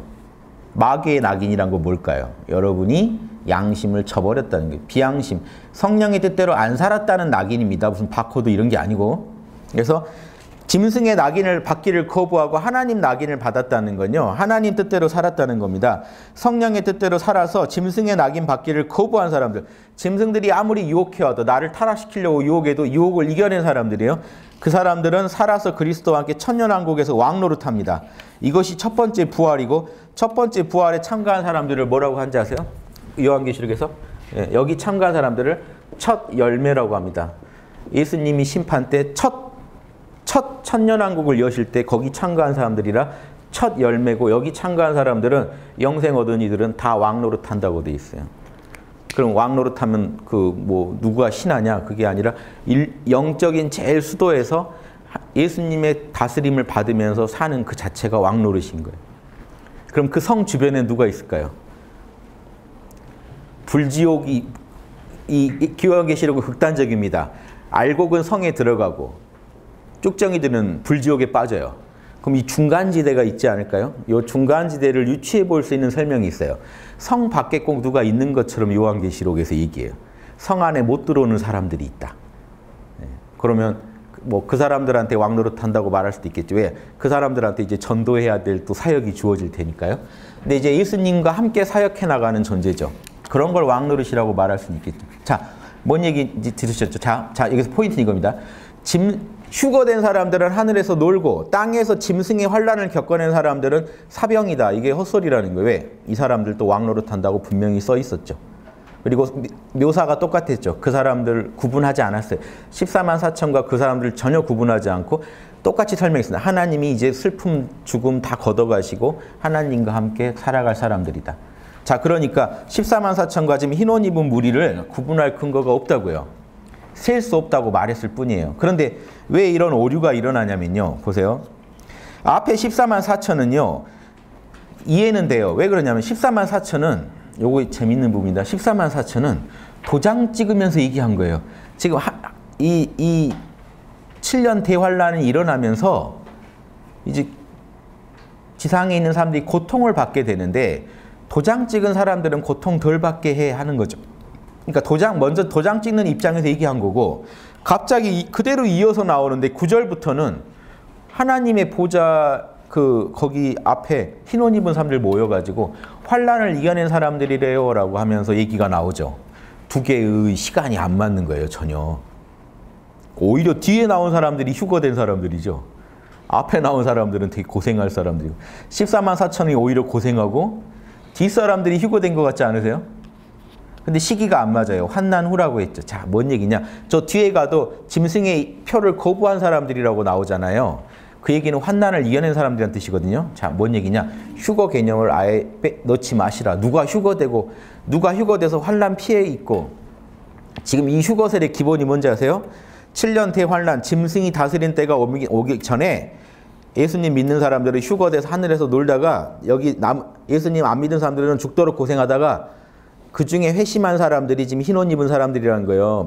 짐승의 그 고난 속에서 겨우 회생한 사람들하고 나중에 같이 만나서 천년왕국을 누리는데 이때도 이 양반들이 더 하나님한테 선택받은 도장 찍어진 사람들이 더 위일 것이다. 이런 환난 때 피해 있다 내려와서 같이 천년왕국 누리겠다는 아주 그 묘한 괘씸한 발상들이에요. 휴거설 자체가. 너 한번 죽어봐라 이런 내용밖에 안 돼요. 그런 게 아닙니다. 그 14만 4천이 환난이 오기 전에는 벌써 오기 전에 도장이 찍어졌다면 여러분 7년 환난, 환란이 7년으로 상징되는 그런 환란이 오기 전에 이스라엘 역사상에 이런 환란들이 있어요. 그 환란들이 오기 전에 그 중에 제일 큰 환란이 온다는 거죠. 오기 전에 하나님 자녀는 이미 표를 받았다는 것. 이미 하나님 안에 살고 있는 사람들이 표를 받은 사람들이에요. 이미 하나님 안에 살고 있는 사람들이 9번, 9절부터는요, 구원받은 뒤의 모습을 보여준 거예요. 그 14만 4천이 하나님 보좌에 나아가서 지금 새 예루살렘에서 누리고 있는 모습이에요. 누리고 있는데, 누리고 있는 환상을 본 거예요. 그러니까 자, 이걸 기억하셔야 돼요. 이건 요한의 환상입니다. 시간적 순서가 아니에요. 요한의 환상을 보다가 관련된 환상을 미리 본 거예요. 곧 도장 찍는 과정을 봤는데 이 양반들이 나중에 구원받는 모습까지 본 거예요. 그때는 헤아릴 수 없게 보인 거예요. 아까는 14만 4천 도장 친다는 얘기만 들었죠. 근데 갑자기 장면이 바뀌면서 구원 받은 사람들이 우르르 나오는데 보니까 모든 인종, 모든 인류가 다 있는 거예요, 거기에. 헤아릴 수 없게. 거기가 14만 4천인 거예요, 사실은. 이해되시죠? 이 정도 이해만 하셔도 사이비에 빠질 수가 없게 됩니다. 어떤 논리로 공격해도 여러분 빠지실 수가 없어요. 자, 14만 4천의 핵심은 성령 안에서 성화된 사람들, 양심 지키는 사람들입니다. 성령 첫째 알아야 되고 하나님의 힘으로 양심 지키는 사람들. 여러분이 생으로 지키는 게 아니고 자, 그러니까 앞에 그 휴거설이 다 날아가는 이유가요. 지금 14만 4천은 도장 찍은 사람들 휴거 될 것 같죠? 보세요. 나팔 9장 보실래요? 그 천사들이요 풀이나 나무 모든을 해칠 때 땅에 있는 모든 존재를 해칠 때 하나님의 도장이 이마에 찍히지 않은 사람들만은 해, 사람들만 해치라는 명령을 받았습니다. 그 사, 어, 그러나 그 사람들을 죽이지는 말고 다섯 달 동안 괴롭히기만 하라는 명령이었습니다. 자, 이 얘기는 뭘까요? 도장 찍은 사람들도 환란 때 다 겪습니다. 휴거되는 사람 없어요, 여러분. 혹시나 기대하셨다면. 우리 92년도에 휴거된다고 저희 다 과방에 우리 과방에 뭐 제가 92학번이잖아요. 그러면 과방에 모여서 불 끄고 그날 밤에 다 앉아 있었습니다. 서로 막 뻥치면서 나 지금 뭐 천장에 머리 닿았다 뭐 어쨌다 불 켜고 그냥 놀다 갔죠. 그날 뭐 난리 났잖아요. 뉴스에 뭐그 휴거된다고 교회에 모여서 뜨고 자 그런 거를 성경에서 더 이상 찾지 마시라. 그거 찾을 정신에 뭘 하셔야 돼요? 성령 안에서 거듭나서 양심 지키면 여러분 영적인 몸을 예수님이 쏘신대잖아요. 그러니까 그 영혼이라도 좀 잘 다듬고 있으라는 얘기입니다. 그러니까 이거를요. 자, 성령 안에서 이 거듭나는 거를 제가 성령 안주라고 부를게요. 그런데 이게 불교로식으로 말하면 불성 안주죠. 불성 안주면 일주보살입니다. 재밌는 게 일주보살의 다른 이름이 뭔지 아세요? 신, 성, 취보살. 너무 기독교적이지 않나요? 믿음이 성취된 보살이에요. 그래서 일주의 다른 이름이 신, 상, 응, 지. 믿음이, 믿음이 상응하는 자리. 그러니까 믿음과 함께한, 믿음이 딱 이제 확신이 돼버린 자리입니다.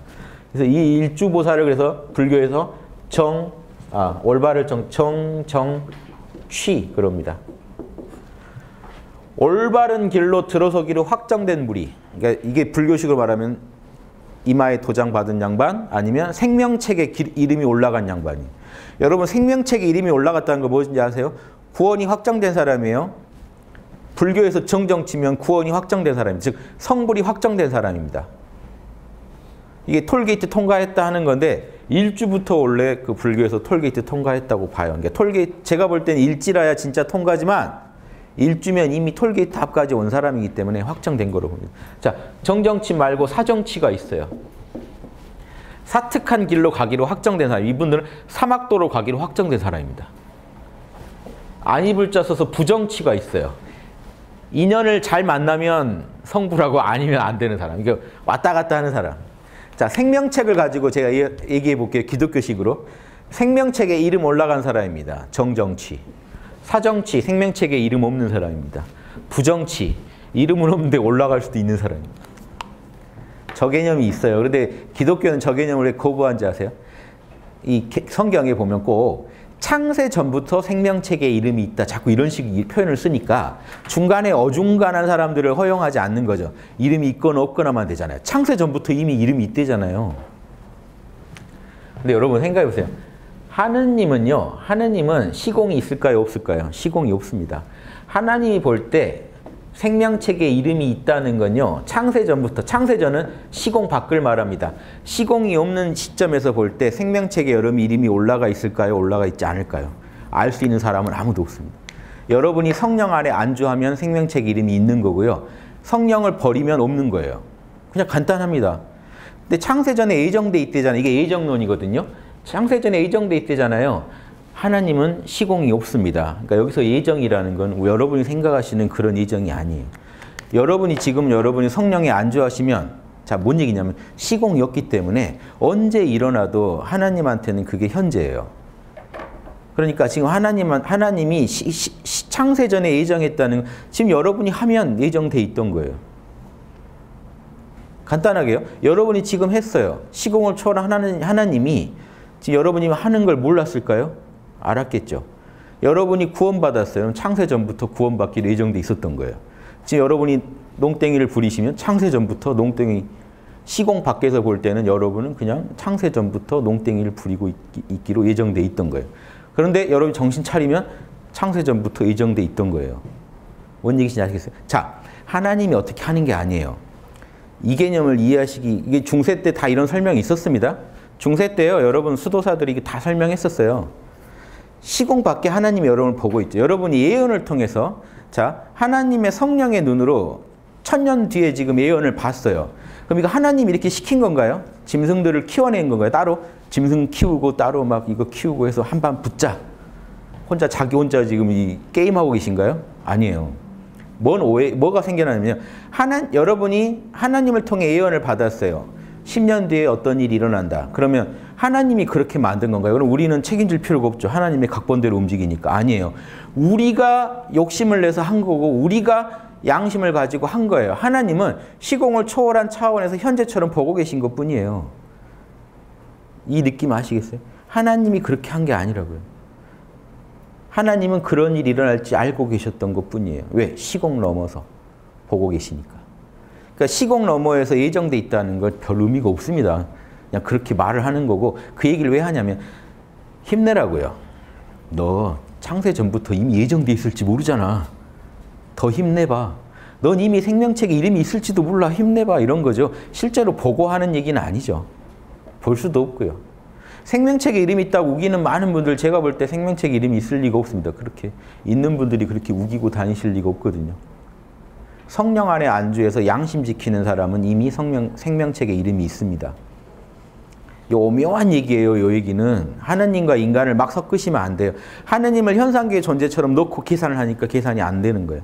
시공 밖에서 참나를 이해하시면 아실 수 있어요. 여러분 안에 있는 성령과 참나를 아시면요. 시공 넘어서 지켜보는 자예요. 그러니까 그 자리에서 천년 뒤, 만년 뒤도 현재처럼 볼 수 있다고요. 그러니까 우리가 예언을 하는 것 뿐이지 하느님이 그렇게 만든 게 아니라고요. 하느님이 고른 게 아니에요. 여러분이 지금 노력하면 생명책 이름이 올라가 있어요. 창세전부터 올라간 것처럼. 이상한 얘기죠. 요거 이해 못 하실 거예요. 그러니까 그 그냥 막연히 생각하셔서는. 그래서 생명책에 이름이 있다는 걸 불교식으로 말하면 정정치고 부정치는 생명책에 이름이 있는 것도 없는 것도 아닌 거지 현 시점에서. 노력하면 올라가요. 사정치는 지옥 가기로 확정된 양반들이니까. 이 양반들도 그런데 이 양반이라고 버릴 거예요? 아니에요.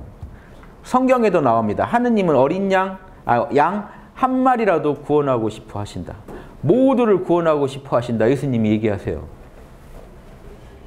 사정치도 구원해야 돼요, 결국. 지옥 가서라도 구원해내야 됩니다. 이렇게 생각하셔야 돼요. 생명책에 이름이 있냐 없냐가 엄청 이기적인 얘기로 변해가 변질됩니다. 나 있어, 너 없을 거야. 그런 얘기 하는 분들이 제일 먼저 가실 분들이에요, 거기. 유황 불타면 제일 먼저 그 아시겠죠? 이런 거 다 쓸데없는 것 알려버리세요. 본질은 전혀 그냥 성령에 안주하는 사람들이 자 천국 얘기도 좀 해드릴게요. 보세요. 지상 천국이라는 건요. 예수 전이 그림 좋아합니다.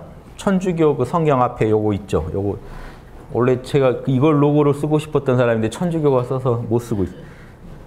이게 황극이라는 게 하나님의 질서가 지배했다는 거거든요. 우리 학당의 로고가 R이라면 그 R이 실제로 현상계를 다스릴 때 천국이 올 때를 상징하거든요. 이, 이 로고는. 아시겠어요? 그러니까 중심이 누구죠? 인자요. 예수님이 다스려야 돼요. 직접 와서. 그리고 동서남북에 그이 이 존재하는 이 무수한 이 존재들은 뭘까? 예수님의 지배를 받는 이 존재들은 성도들이에요. 성도 공동체, 즉 교회입니다. 천국이 지상의 천국이 뭐냐면요. 지상에 있는 하늘 하느님 나라는 첫째 교회예요, 교회. 그러니까 그 기독교만 가지고 얘기하면요. 그러니까 지금 전국에 있는 법당이 즉 승가가 사실은 천국이에요. 불교식으로 말하면. 용화 세계에서 만들어질 천국이 뭐죠? 중, 중생심이요. 중생의 마음이 정토입니다.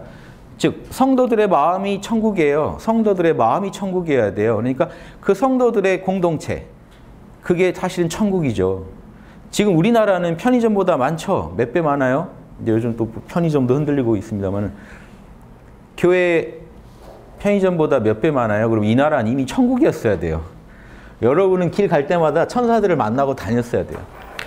양심이 꽉 차서 터져 나오는 성도들이 우리 주변에 넘쳐나면 여긴 그대로 천국입니다. 이해되시죠? 그 양반들이 도장 받은 사람들이에요. 생명책에 이름이 있는 사람들이고. 그러니까 그 성, 성령 속에서 양심적으로 살자는 주장을 해야 되는데 그러니까 황금률이라는 양심법 지키면은요 성도예요. 천국에 사는 사람인 거예요. 양심법만 지키면. 그걸 안 지키고 있으면서 천국이 오기만 바라고 휴거되기를 바라고 있다. 개판인 거죠. 이게. 이게 지금 환난 시기인 거예요. 그런 분들이 창고라였다는 게 지금 환란의 시기라는 거고 절대 그런 분들이 구원받는 게 아닙니다. 성경에 쓰여진 대로 해야 구원받지. 주여 주여 한다고 구원받지 않아요. 자, 새 예루살렘은 성도들의 공동체다. 1차적으로. 뭐 그분들이 머무는 장소일 수도 있지만 성령의 뜻이 다스려지는 곳이 천국입니다. 첫째, 그거는 성도들의 마음이에요. 무조건. 왜? 예수님의 마음에서 천국이 처음 이루어졌듯이 그게 확장돼서 수많은 존재들 안에서 성령이 살아나고 혼이 거듭나가지고 또 육이 부활할 수 있는 그런 이, 이 고, 고, 그런 곳이 천국인 거죠. 자, 새 예루살렘에 그래서 보세요. 새 예루살렘에 문이 세 개씩 있대요. 동서남북에. 그래서 이, 이, 이 문이 세 개씩인데 여기에 열두 지파 이름이 새겨져 있고 그럼 새 예루살렘이 그대로 새 이스라엘의 수도라는 얘기고요.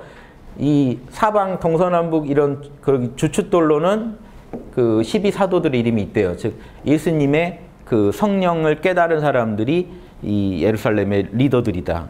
그걸 상징합니다. 구약과 신약이 하나로 만나고 있어요. 요한계시록은요. 구약을 철저하게 배려합니다. 왜냐하면 구약 때부터 유대인들이 기다렸던 수건 사업이 이루어졌다는 얘기를 하고 싶은 거예요. 신구약의 총결이기 때문에 그래서 아까도 그냥 인류에서 12만 14만 4천 명 얘기해도 되는데 12지파 얘기를 꺼낸 거는요.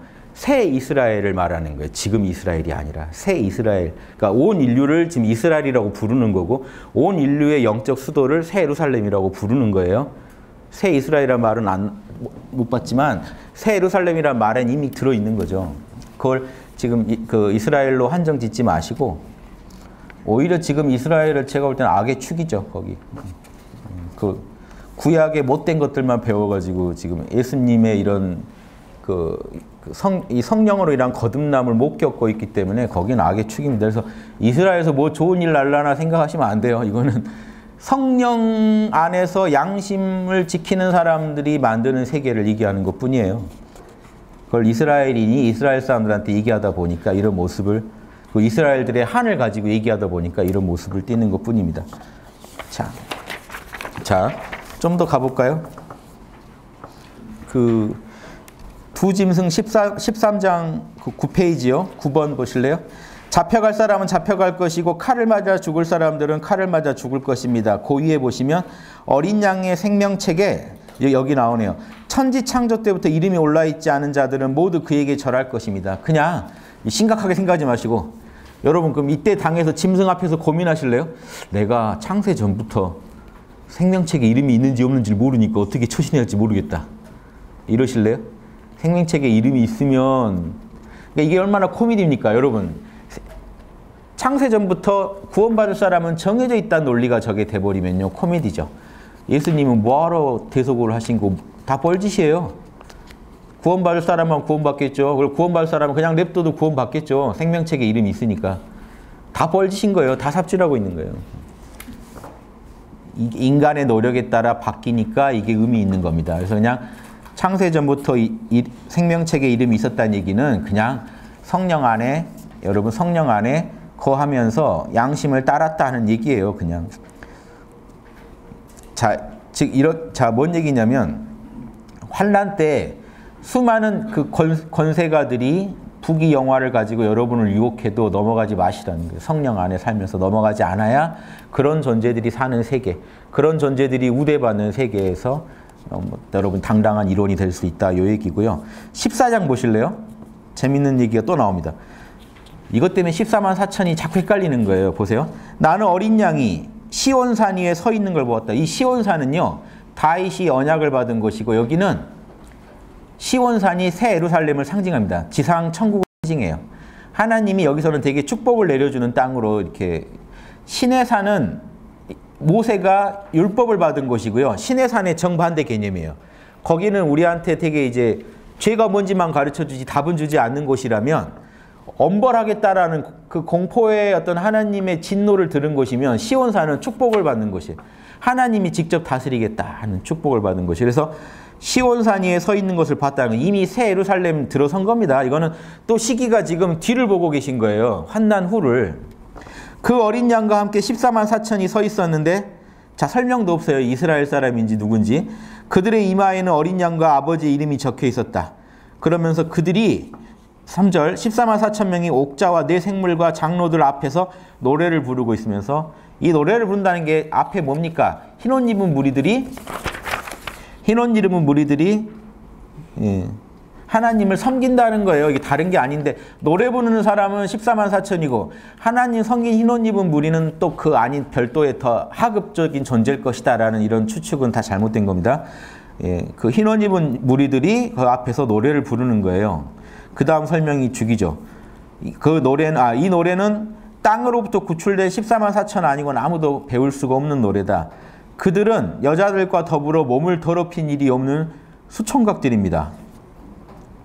너무 직역을 하신 것 같습니다. 저도 못 가겠네요. 장가 가는 바람에. 이런 게 아니고 음녀, 음탕한 여자로 상징합니다. 그래서 타락하지 않은 존재다 이런 뜻이고요. 그들은 어린 양이 가는 곳이면 어디든지 따라다닙니다. 그래서 그 어린 양과 한 하나의 자, 요거요. 보세요. 새 예루살렘을 얘기하고 있는 거예요. 지금 보세요. 14만 4천 무리는 지금 이 무리예요. 이 무리가 어린 양의 지배를 받고 있죠. 어린 양이 지금 왕이에요. 예수님이 왕 하려고 다시 오시는 거예요. 재림 때는 직접 다스리려고. 직접 못 다스리니까 사형당하셨잖아요. 직접 다스리려고. 예. 그리고 이 그래서 여기는 지금 이 양반들도 사실은 같이 작은 왕들이에요. 다 주인공들이에요. 주체들이면서 성령 안에 살아가니까 다 하느님들이거든요. 하느님들은요, 성령 안에 살아가는 사람들한테 낮게 말할 수가 없습니다. 왜? 하느님이 안에 살고 계시니까. 여러분 몸은 바울이 말했듯이 성전이 돼버려요. 그러니까 여러분도 왕인 거예요, 다. 하느님들이에요, 다. 하나님들이 다스리고 있는 거예요. 근데 예수님을 머리로 하고 여러분을 몸의 지체로, 몸의 각 부분들로 해가지고 한 덩어리처럼 굴러가고. 그래서 그거를 어린 양만 따라다니는 존재라고 얘기하는 겁니다. 이미 구원받은 존재들이에요. 그들 입에서는 거짓말을 찾을 수 없고 아무런 흠이 없더라. 예수님처럼 흠이 없는 존재가 됐어요. 원래 예수님한테만 붙던 설명인데 흠이 없는 존재가 같이 된 거예요.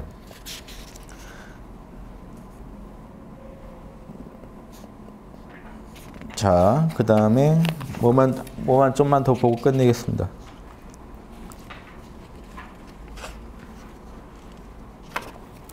뭘 좀 더 볼까요? 음. 아, 13페 13 여러분 요한계시록 오늘 하나 그냥 다 떼시는 것 같은데 13페이지 새 예루살렘 한번 설명 들어볼게요. 자, 이제 새 예루살렘 거룩한 도성 예루살렘이 10, 10절이요. 하늘에서 내려오고 있습니다. 21장 10절인데 그 도성은 하나님의 영광에 쌓여 빛은 지극히 귀한 보석과 같고 수정처럼 맑은 벽옥과 같았습니다. 그 도성에는 크고 높은 성벽과 열두 대문이 있는데 그 대문마다 천사가 하나씩 있었고 열두 지파의 이름이 써 있었습니다.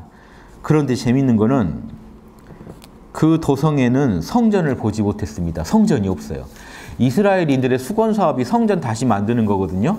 근데 성전이 필요 없어요. 왜요? 어린 전능하신 주 하느님과 어린 양이 바로 그 도성의 성전이기 때문입니다. 어린 양과 하느님을 같이 얘기하지만 실제로 누가 거기 계시겠어요? 예수님이요.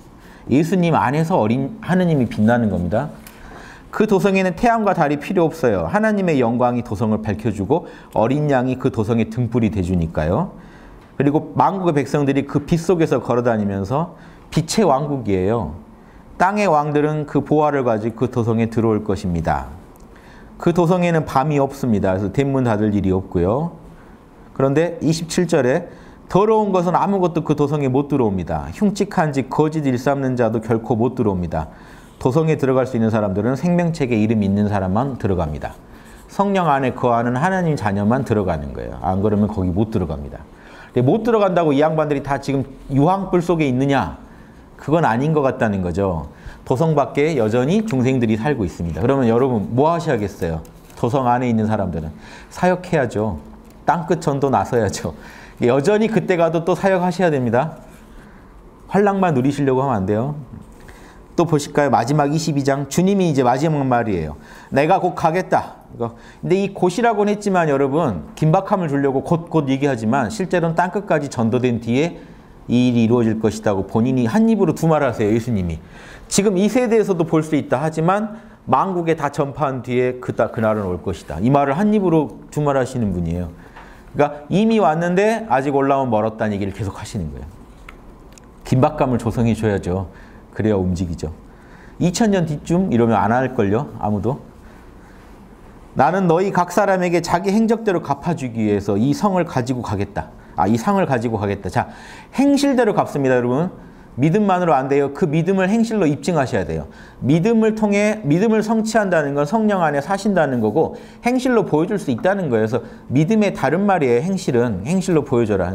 근데 행실 없는 믿음은 아니라는 거예요. 그 믿음 행실을 갖춘 그 믿음으로 보여줘라. 자, 예수님이 입인데 지금 이 말을 하세요. 나는 알파 오메가다. 지금 이, 말은 지금 예수님 안에 계신 하나님이 하고 계시다고 봐야 돼요. 나는 알파 오메가고 처음과 마지막이며 시작과 끝이다. 생명의 나무를 차지할 건설을 얻고 그 성문으로 그 도성에 들어가려고 자기 두루마기를 빠는 사람은 행복하다.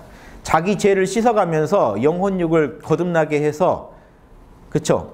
생명의 나무를 차지하기 위해서 그 성에 들어가려고 이렇게 그 영혼육을 정화하는 사람은 행복하다. 복되도다. 나 예수는 내 천사들을 보내어 모든 교회에 이걸 증언하게 하겠다. 나는 다윗의 뿌리에서 돋은 그 자손이며 빛나는 샛별이다. 아무튼 나는 빛이다. 육으로는 이게 구약적으로는 다윗의 후손이라는 걸 밝혀야 돼요. 그래야 구약의 예언이 성취돼요. 다윗의 후손 중에 나온다. 그런데 여기서는 다윗의 후손이라고 밝힌 게 아니라 다윗의 그 아, 아, 후손이라고 밝혔으면서도 다윗의 뿌리에서 돋은 그의 자손이며 이게 후손이라고 밝혔네요. 또 다른 데서는 나는 다윗의 주다 이런 말도 하시죠. 그러니까 뒷부분은 이제 그런 표현입니다. 나는 빛나는 색별이라는 거는 다윗하고 상관없이 다윗의 오히려 주다. 다윗마저도 하느님으로 섬긴 사람이다. 이것도 같이 밝히고 있는 거예요. 후손이면서 그 주다. 어떠세요? 요한계시록 간단하게 지금 1시간 반 정도에 걸쳐서 요한계시록 보셨는데 답은 뭘까요? 여러분 그 양심 양심이 승리한 세상 만들자는 겁니다.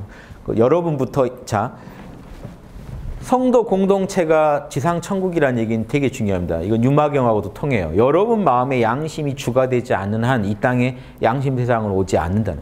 제가 왜 그렇게 민주 시민 깨어 있는 시민 빠를 경계하라 이렇게 강조하냐면요. 빠는 이미 우상 숭배자예요. 양심만을 우리가 섬겨야 됩니다. 양심 안에서 양심법, 내가 당해서 싫은 일을 남한테 하지 말라는 양심법을 따를 때 여러분 안에서는 이미 천국이 이루어진 거예요. 이미 천국을 살아가는 분들이 모여서 공동체를 이룰 때 예수님이 자, 예수님이 두세 명만 모여도 내가 함께 할 거라고 그랬는데 공동체가 이루어지면 거기에 주는 당연히 예수님이 되는 거예요. 그게 한 덩어리가. 그래서 천국의 지구 분점이 만들어지는 것처럼 되는 거예요. 결국 이 얘기는 지상 천국이라는 거는 저 하늘에 있는 천국의 분점이에요. 동질의 천국이 여기서도 열린다는 거. 동질이라고 하기엔 또 더 많은 포용을 해주는 더 문을 넓혀준 천국이죠, 사실은. 동질의 의미도 있으면서 일반 중생도 조금만 노력하면 들어갈 수 있는 그런 천국을 열어주겠다 하는 거. 정의가 승리하는 세상, 진실과 양심이 승리하는 세상 만들겠다는 스토리고요. 그 거기 들어가려면 우리가 거듭나야죠. 자, 그런데 재밌는 게 아까 제가 아껴놨다는 게 우리 민족이랑 우리 민족과 유대 민족이 전혀 다른 얘기하고 있는 것 같죠. 그런데 우리 삼국유사 보실래요? 하나님의 아들 환웅이 지상에 내려와요. 뭐 하려고요? 사랑하려고요. 홍이 인간 하려고 내려와요. 그래서 신실을 열어요. 신의 나라를 열어요. 그 나라에 누가 참가하죠? 곰과 호랑이가 있죠. 유황불은 호랑입니다. 사정치. 곰은요. 정정치. 곰은 100일간 수련해가지고 어떻게 돼요? 사람 돼서 들어가요. 호랑이 못 들어가죠. 똑같은 스토리 아닌가요? 똑같죠, 스토리가. 사람 되셔야 됩니다. 그래서 제가 웅녀 프로젝트 막 농담으로 한 게 똑같은 스토리예요. 우리가 양심 안에서 하나님 안에서 항상 하나님 뜻 따르면서 사는 이런 존재들이 돼야 그 신의 나라, 그 지상 천국에 참여할 수 있고 아닌 존재들은 벌받게 돼 있다. 이게 거기 참가 못한다. 성령이 어두운데 어떻게 양심이 어두운데 어떻게 참가해요? 들어오라고 해도 못 들어가요 거기 여러분. 양심적인 사람들만 사는 세계 여러분 들어가시면 죽어요 답답해서. 그렇죠? 내가 준비가 안 돼 있으면 못 들어간다고요. 들어오라고 해도 못 들어간다고요. 그 빛이 눈부셔서 못 들어가요. 환자한테는 너무 강한 빛도 힘듭니다. 처음에. 그렇죠? 조명을 맞춰줘야 돼요. 그러니까 지옥은요, 결국 지옥도 여러분 여기는 벌만 얘기하는데요. 갱생시키려고요. 신과 함께 보세요. 지옥은 다 갱생시키려고 훈련시키는 곳입니다. 사람 좀 만들어 보려고 센 훈련시키는 곳이에요. 지, 구상에 있는 감옥도 결국 사람 만들려고 있는 거예요. 사람이 아닌 사람들을 데려다가 사람 만들겠다고. 더더구나 거기서 양심이 강조돼야 될 곳이에요. 여러분 새 예루살렘에 그 띵가띵가 놀면서 살면 됩니까? 이 얘기를 들어도 여러분 진짜 사도고 여러분이 진짜 성령 속에 살아간 사람이라면요. 지옥불 속에 빠진 사람 건질 생각부터 나야 돼요. 그 사람도 어떻게 해요? 여러분 가족일 수도 있는데. 근데 여러분 그 교회분들 잘못 만나면 딱 그럽니다. 딱 나는 천국 갈 사람이고 너는 천국 못 갈 사람이니까 그 이번 생에 인연을 맺어도 대충 맺자 하는 그런 분들 많아요, 여러분. 딱 거만합니다. 천국에 아주 뭐 그 노른자 땅을 이미 사두신 분의 그 딱 거만한 표정이 있어. 그런 분 장담합니다만 그못 갑니다. 성경대로라면 제가 마, 마음대로 얘기할 수 있는 게 아니라 성경대로라 흠이 없어야 돼요. 그분 벌써 남한테 상처 주고 있고 역지사지 안 하고 있고 황금률 안 지키고 있잖아요. 어떻게 천국을 가요? 11조 다 부질없는 소리입니다. 11조는 구약대 논리예요. 신약은 사랑입니다. 성령 안에서 양심 지키는 사람이 하나님을 위해서 제일 열심히 살고 있는 사람이에요. 11조 내는 사람이 아니고. 11조 내는 사람은 그 목사한테 제일 사랑스러운 사람들이겠죠. 하나님한테 제일 사랑스러운 사람들은 다릅니다. 하나님이 누가 돈 필요하대요? 사랑 달라고 이제 사랑, 양심 지키라고. 그거를 꼭 듣고는 항상 그 그분들의 마인드 있죠. 돈으로 해결할 수 있는 건 해결 돈으로 해결하자는. 돈으로 해결해 보려고 덤비시는데 그걸로 전혀 될 일이 아닌데. 생명책의 이름이 돈으로 쓰여진다 그러면 그 생명책은 이미 그건 이미 그건 뭐 그게 데스노트면 모르겠지만 생명책이라면 거기에는 오로지 양심 지킨 사람들의 행적으로만 그게 쓰여진다 이렇게 생각하시면 좋겠습니다. 오늘 대충 그 감오시죠. 14만 4천 따위는 신경 쓰지 마시라. 상징적 숫자입니다. 12,000. 12지파마다 12,000. 12지파가 지금 10이란 숫자를 좋아하잖아요. 성경이. 그러니까 완전한 수라고. 12 곱하기 12 곱하기 또 1000인 거죠. 그래서 이거 목사님이 이렇게 얘기하세요. 12 곱하기 12 곱하기 1000. 왜 1000을 곱했나요? 1000은 많은 숫자를 상징한다. 그러니까 어떤 종단에서. 진짜 숫자지 그게 천이 왜 어디 성경에 천이 많은 숫자란 증거가 있느냐 막 욕하시다가 나중에 천사들이 천천히요 할 때는 천사들이 천천 그러면 천 곱하기 천이라서 그게 그렇게 되는 게 아니고 천은 많은 숫자를 상징한다 이렇게 풉니다. 한 입으로. 한 종단에서 두 말을 합니다. 헛소리죠. 예. 말도 아닌 소리니까 여기서는 여기선 여기 돼요. 저긴 저기 돼요. 아닙니다.